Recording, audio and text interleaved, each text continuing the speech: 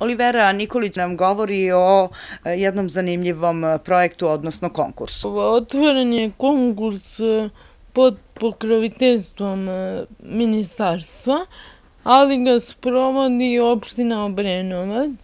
Mi kao kancelarija za mlade Aranđelovac pripadamo Obrenovcu, zato što je taj projekat pod tim nazivom projekta Mladi su zakon, mi smo i nastali kao kancelarija za mlade 2012. godine.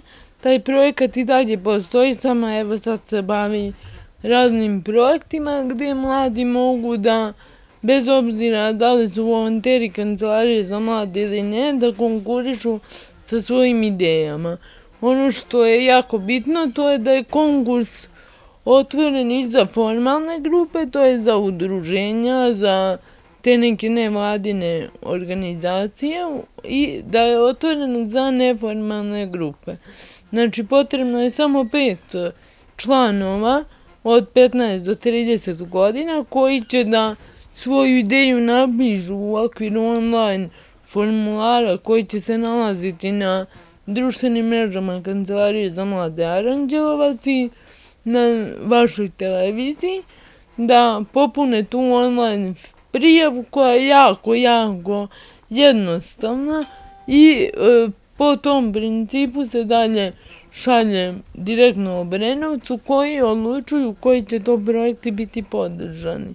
Znači, bitno je da su projekti e, koji e, sprovode aktivizam mladih u Aranđelovcu, da su projekti E, tipa e, sređivanja nekog objekta za mlade terena, da li je to školska učionica, da li je teren u nekom selu, e, nije bitno šta je, samo da se tiče mladih ljudi u Aranđelovcu.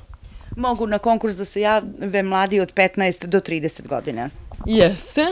To, to je zakonom regulisano da mladima pripadaju svi od 15 do 13 godina i to se poštuje i u ovakvim projektima za mlade. Koliko projekat e, mora da bude vredan ili koliko najmanje e, može da bude vredan? U e, formularu stoji da projekat može da bude od 20.000 najmanje do 48. Znači projekat ne sme ne prelazi 48.000, zato što takvi projekti neće biti financirani, a ne može samo deo projekta, zato što onda nemamo jednu celinu.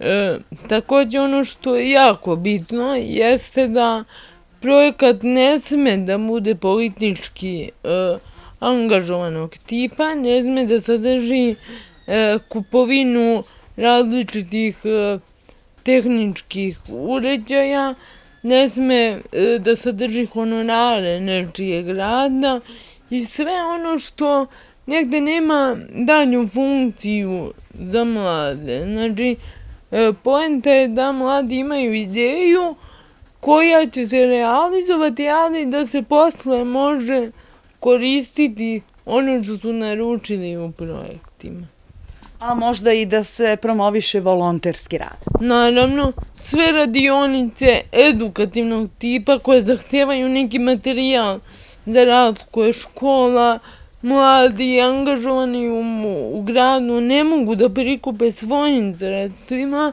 da bi sproveli neku radionicu, neku edukaciju, mogu da konkurišu na tom projektu i na tom konkursu i da obezbede cijeto ne radi. Ja mislim da je 48.000 apsolutno dovoljno sredstava da, da se neka radionica za mlade, za decu sprovede u delo i mislim da e, 48.000 je sasvim dovoljno za gominu ideja mladih u Aranđelosu.